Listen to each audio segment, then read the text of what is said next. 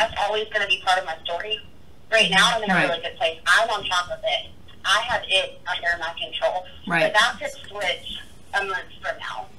You know? But the, Right. the important thing is that I'm to a point now where I realize it's okay not to be okay. So it's okay that some days I'm going to wake up and I'm not going to feel, I'm not going to feel like doing it that day. I'm going to feel like it, it's getting the best of me. But as long as I remember to come up and take a take a breath of air, you know, as long as I remember to resurface and not to let that depression push me so far down that I'm not able to make it to the surface to, for that breath of air, uh, I'm I'm still in control.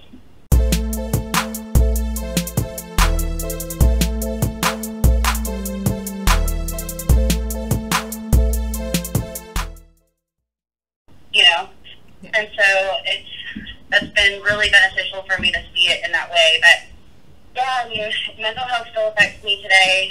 Um, you know, I went on to have a sec- my second son, my, my beautiful little Finn, and he's four. and I didn't suffer from postpartum depression with him. Um, immediately in my pregnancy, I walked in already knowing that I wanted the same thing. I wanted to stay on med- medications. That's Right, what we right. did. Um, I knew towards the end of my pregnancy that I needed to go ahead and start getting a little bit of additional support. Um, whether that just be from like group therapy sessions or Sure. whatever, just so I could stay on top of my my own feelings and I could have somebody hold me accountable. Um, I bought one of those wonderful little monitors that monitor their breathing at night and go off. If, Oh, yeah. if for some reason they're not. Right. Yeah. Um, I'm telling you that that saved my life. I feel like, or saved me from falling into that like sleep deprived, like Worry you know, and Yeah. yeah. post motherhood because I felt comfortable enough with it doing the job that I was trying to do Right. Right. with Liam, and you know, and so that really helped me to be able to sleep. Um, I don't really listen to recommendations from other people in terms of oh, put the baby in the crib right away or whatever. Like I Right. had Yeah. both of my boys in my room with me. Um, next to me, I had them in their rock play, but uh, next to me for you know nine months, and that's what worked for my family, and that's Yeah. what worked for our, our breastfeeding journey, and Mhm. Yep. um, and so I had a really, really great, a really great like postpartum experience with Finn. But now that it's come to the point that my husband and I really want to start trying for a third baby, um, we put it off for about a year and a half longer than we thought we would have because I'm to a point right now where, you know, it, it's kind of like looking back at like trauma that I felt that I experienced after Liam's birth in terms of my own mental health Yeah. and worrying about and feeling like everything's so good right now with me. Like I feel so good right now and I'm in a good place and I'm on top of it. Like I've got this under control. And, you know, I start to think, would it be selfish for me to have another baby? Which I know is, is you know, something that my mind tells me that, that I need to work through um, because it's not true. It wouldn't be selfish for me to have another baby. If I were to experience postpartum depression again, it doesn't make me any less of a mom to Liam and Finn. But those are the thoughts that my brain tell me, you know, what if I fall back into that cycle of um, depression and I'm not able to be up and at them and be the mom that I am for them right now, you know? Right. Yeah. So I've, it's something I've been grappling with um, for about a year and a half. So we have a little bit of a of an age gap more than we wanted. The boys are almost exactly three years apart. They're three years and eleven days apart, and that was perfect for us. I mean, we loved that age gap. Um, and so now Finn is four and a half. So if I were to get pregnant, even now, you know, he'll be after he'll be older than five. Yeah. By the time I have this next baby, um, the benefit of it would be that they're both in school.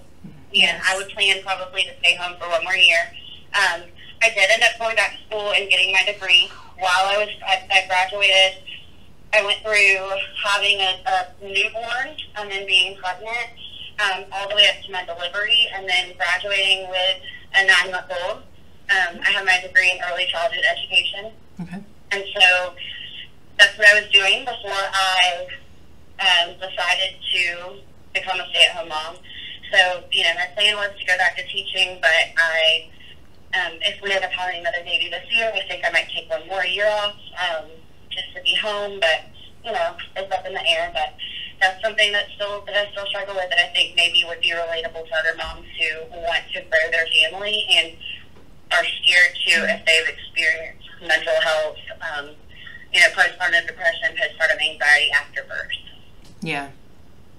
Yeah. I think I think it's um I'm I'm like I'm a little blown away if I'm being honest. I I you don't I feel like you don't hear a lot of this side of that. Like usually I feel like so we and I know that Melinda and I have talked about this before. I feel like a lot of times when when a general conversation is had about postpartum, it can go one of two ways. Mm-hmm. And one is that every negative thing you feel means that you're you have postpartum depression. Sure. And then the other thing is is oh well it's just postpartum depression. So there's yeah. these like really two yeah. weird mindsets that like um you know like so Dawn when she wrote her letter to us that we read and we've recorded already um, like we've talked about, like in her letter, she talks about how when she felt off, she felt like she couldn't talk to anybody because everybody yeah. kept telling her, oh, it's postpartum depression. And it wasn't. It, wasn't. it just was normal, like, I don't even really want to say baby's blues because it wasn't anything like that, but it was just it's hard being a new mom. And it and sometimes you have negative feelings. You don't feel good. You don't feel you know and like you feel inept. You feel like you can't like there's a lot of feelings that go with it. So you know and when you you mentioned earlier um, that you know when people who haven't had a men- mental illness or who haven't had postpartum depression or any of those things they can't relate. It's like it's weird because i feel like and maybe it's because i know people who have but like for me in particular i didn't have that. I had one day or one moment of a bit of a weird breakdown that lasted about 15 minutes and i think i was just a little overwhelmed with our change that happened like the fourth or fifth night we were home with our son. But like but even i can look at it and say like it's not this thing that needs to be dismissed or assumed. It's right. it needs to be recognized and it needs to be talked about more because it's like the only conversation that you ever hear is like oh go to your doctor you know like i don't know it's like it just seems like yeah, it's yeah. not one of those things where like people want to talk about it or the, and they don't want to hear you talk about it either if you're going through it.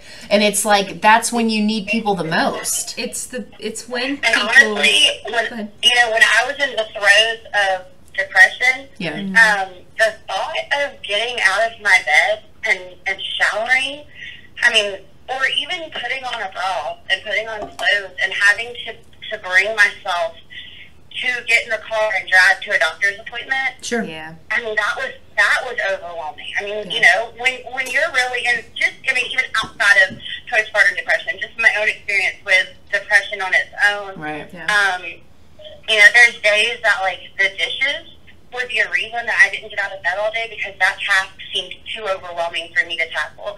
And I think it's important to remember that like mental illness and postpartum depression isn't black and white. There's right. never going to be two stories that look identical. Nope. Nope. Um, and you're right. There are some just, I mean, hormonal changes in your body and feeling overwhelmed or feeling tired and frustrated or emotional.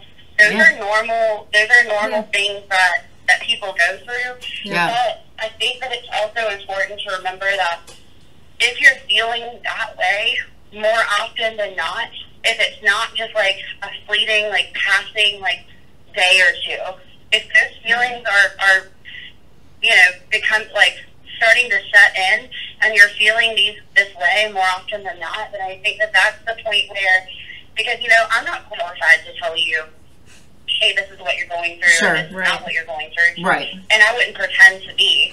But I think that even more so than just like telling our friends, hey, because that, that's the thing. We're all so quick to be like, hey, if you need anything, I'm here. Mm-hmm. Or, oh, you, you should you should go to the doctor and talk about that. Mm-hmm. But do we really mean it when you say, if you need anything, I'm here? We have to mean that.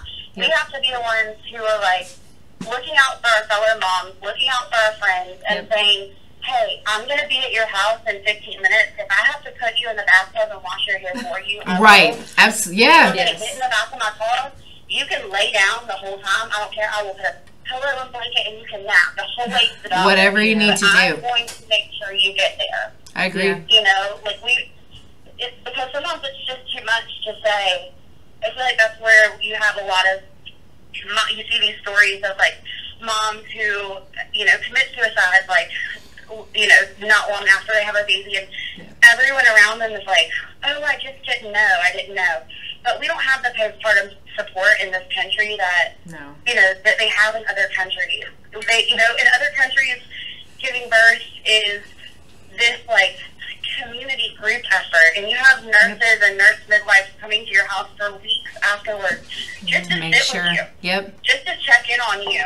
Just to they they don't say, hey, six weeks from now, I know that you're probably still going to be bleeding.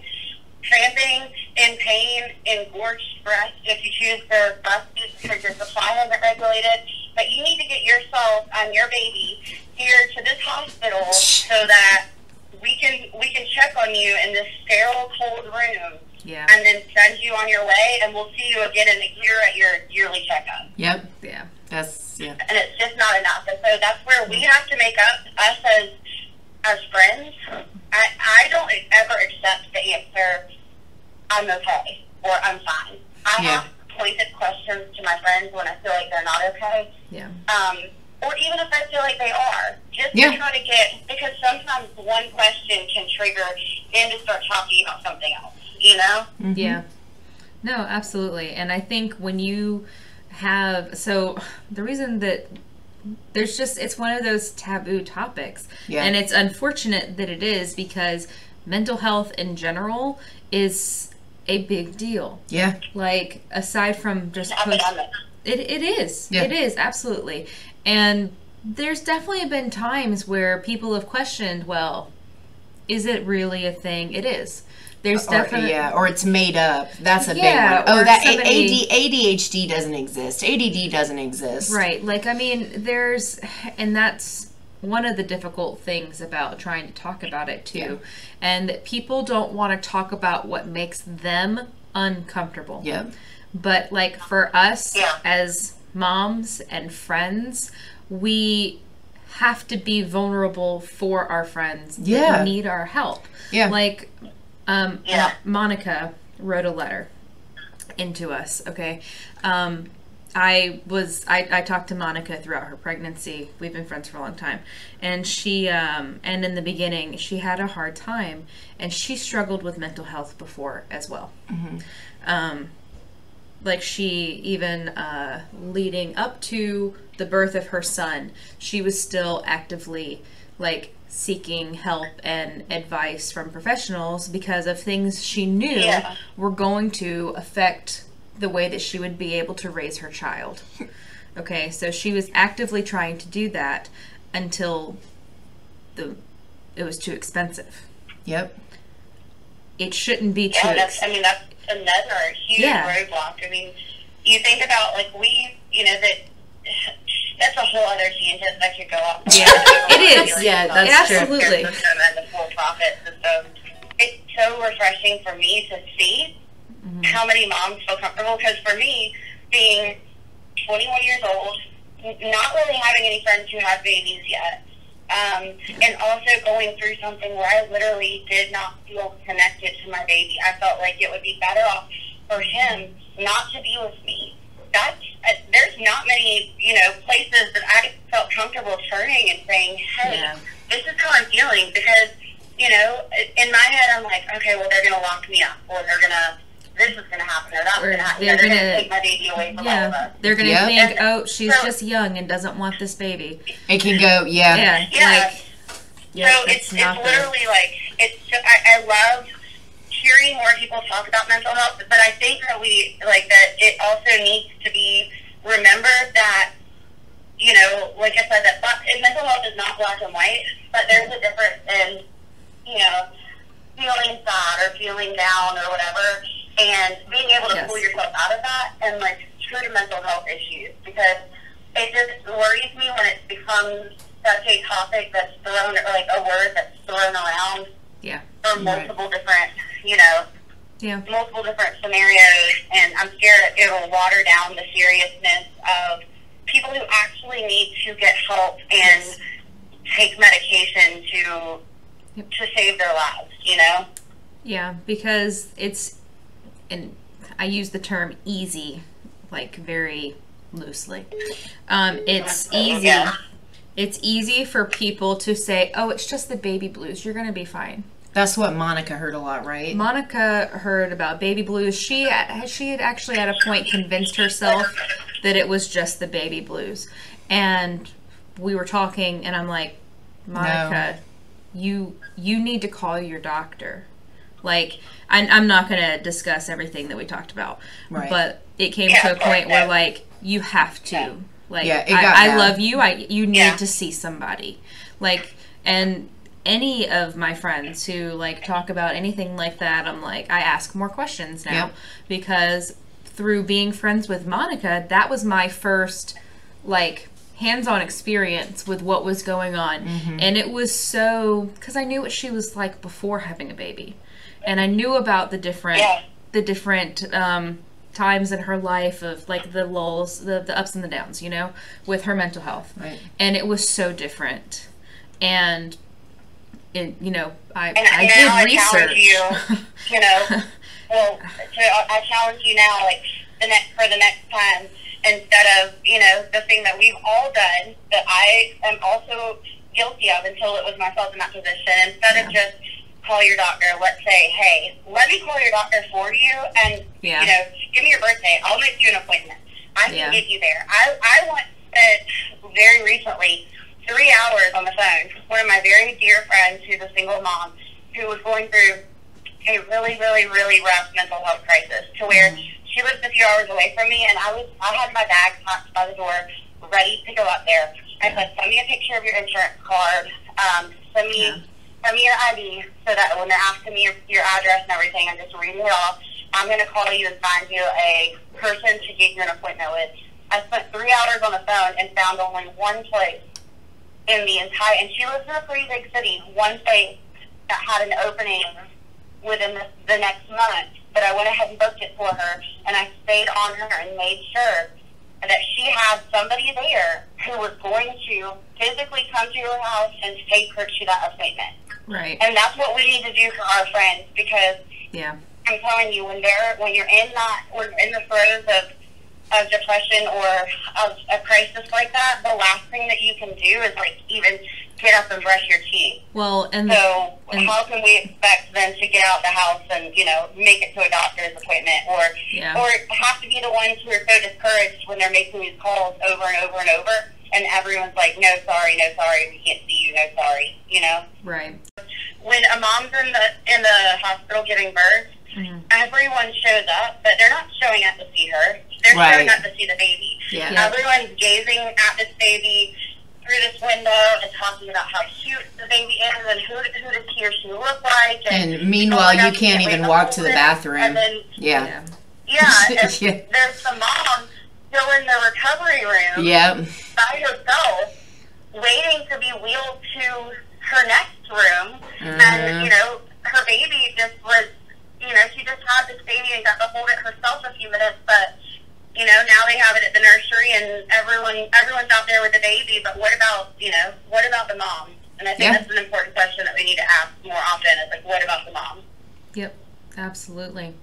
I mean, that's that's part of what we're trying to do here. Yeah. Is we're trying to build a village of moms who support each other, no matter what you're going through. Um, that's why it's Yeah. That's why it's so amazing and important that you shared this with us, and we thank Yeah. you so much for Yeah. for coming on and Well, I- and sharing I- that with us. Yeah, I think you also what you're doing. I mean, I think that this is wonderful. I think you're right. I I'm glad that I'm in a point of my life right now where I am able to to talk about this freely and Yeah. you know to reflect on it. That it's not something that I'm I'm going through right now, and I hope that you know if anything that we can not if you know that it could reach not only a mom who might be struggling or might be you know Yeah. wondering about that, but also just to remind us us as friends to Mhm. you know Yeah. to really like do our job and instead of just saying you know, I'm here. If you need me, let me know. Right. You know, Yeah. take it take it a step farther and and Show up. try to anticipate their needs before they have to ask. So, Yeah. Especially if you've already been through it. I mean, you know what Yeah. what it's Yeah. like being home with a newborn after a week. Like you you know what that feels like, what that can be like. Yep. exactly. Yeah. Um, well, we do have some questions that we've been asking all Yeah. of our moms Yep. um, in this in Okay. this segment. Um, Yes. one of our questions is: Is there any advice that you wish somebody would have told you, um, like while you were pregnant, bef- like while you were in labor, right afterwards? Is there anything that you wish that somebody would have told you that you just didn't know about pregnancy, labor, being a mom in general? um, that it's not always going to be this intense feeling of love and joy every single day. Um, because uh, especially as your children grow, they're they're human beings, and I think that Yeah. you know it's important to realize that they're going to develop, you know, the ability to make their own choices and their own personalities, and you know, different ways to you know to tiptoe on your last nerve or you know test it. And it's okay some days if you go to bed and it's not like this overwhelming feeling of like just love and joy and rainbows and sprinkles. It doesn't make you any less of a mom. Yeah. You know, like Yeah. of course I unconditionally love my children, but Yeah. sometimes Yeah. I just don't like them. Yeah. I You mean, know? yeah. That's that's actually Sometimes that day I'm like, yeah, we, that's a we good need, one. We need some time apart. It's not you, it's me. That's right. That's right. Yeah. yeah, no, that's a good one. Yeah. And the, and then uh it's, it's true, and I felt guilty a lot at first, but you know, if, Yeah. if I didn't go to bed and feel, you And- know, and I would that's- lay in bed and that's the point of this segment. every word that I spoke yeah. loudly or Yeah. whatever. and Yeah. that's and that's a lot of the reason why we're doing this segment is because it's like they, people people kind of expect moms to be robots it's like you know just like you Yeah. said you know we have to remember that our kids are humans so are we Yeah. like we you know i Yeah. can't i can't be when you've shown me the same blue block seven times like i'm not going to be as excited the seventh time as i was the first time you but know maybe the eighth time. yeah really but it's like you you know it, it okay. it's like you know Yeah. it's and it's fine to feel that way and i actually you know so our uh, you know melinda and i have uh, one year olds so we're not we're not quite the level of expert that you are but so we but we one of the things but like one of the things is like I just recently got to a point with him being almost a year and a half where I say no, like no, I'm not making dinner. No, I'm not doing the dishes because I always felt bad if I didn't continue to do the things I had always done before. And now I'm like, You know what's so funny about that? And I just I just sat my children down and had the same conversation with them. Um, and it, it's so funny that you brought that up because this, I, I literally just said this in a text message to a friend of mine last night when I was trying to give her encouragement. Yeah. No is a complete sentence. yeah, And Yeah. I tell my boys that. Oh, I love like, that. no is a, it's okay for them to say no when they're uncomfortable. Like, Yeah. be- I don't force my boys to hug or kiss any family members. I give them the option, but if they say no, no, it's, because it's really important, you know, to me to teach them body autonomy and that they so much of their life is dictated by, by choices that other people are making for them. Yeah. So I think it's important to show them that they Yeah. have power too. They have And control. that no is a complete sentence. I They like that, yeah. themselves, They can just say no. I like that. I and, and it's it's hard. It's hard because I do find myself wanting to do so much, but I but it's it's like the common thing is like you know you can't have a happy like you can't do what you what you should do for your family if you are not happy. Right. Like you have to be you know like where you are um, with yourself. Um, and then I think our our other question that we normally that we've been asking is. Um, do you feel um, other than because i know we, we've kind of talked about a lot of stuff. Yeah. was there anything um, whether simple or complex that you've just after you had um, liam is the oldest? Yes. Yes. yes. Liam, yes. Finn, Finney is the little okay. So um so after you had liam or even if you felt this way after you had finn was there anything that you felt just completely unprepared for? Um, I, I'll. Hard question sorry So yes, yes, but I don't know if this is the, the direction to go. But Okay. I'll say yes.